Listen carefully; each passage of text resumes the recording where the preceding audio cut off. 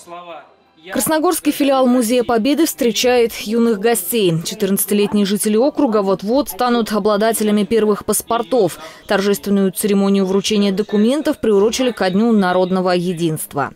Вы должны гордиться тем, что вы получаете паспорт гражданина Российской Федерации. Тем, что вы живете в городе Красногорске.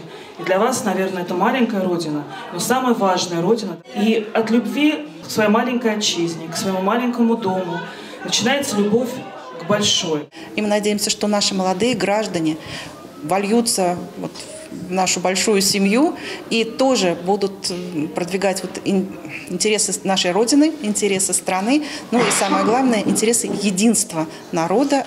Напутственные слова и, собственно, удостоверение личности для семи молодых красногорцев, делающих первые шаги во взрослую жизнь. Она поставит определенные задачи, предоставит на выбор возможности, потребует навыков и целеустремленности.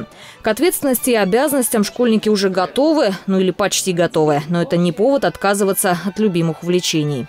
Я занимаюсь много чем, у меня там музыка, танцы. Даже если еще больше будет э, обязанностей, я это все не брошу, я это все оставлю, буду продолжать этим заниматься. И э, ну, в будущем уже, может, совсем определюсь. Может, я в музыку пойду, может, в танцы, а может, в историю, куда я и хотела поступить. Впрочем, историю, независимо от предпочтений в выборе дальнейшего пути, должен знать каждый гражданин. Убеждены в филиале Музея Победы, потому подготовили особый подарок своим гостям – большую обзорную экскурсию. С экспонатами и их прошлым с удовольствием познакомились не только юные красногорцы, но и родители.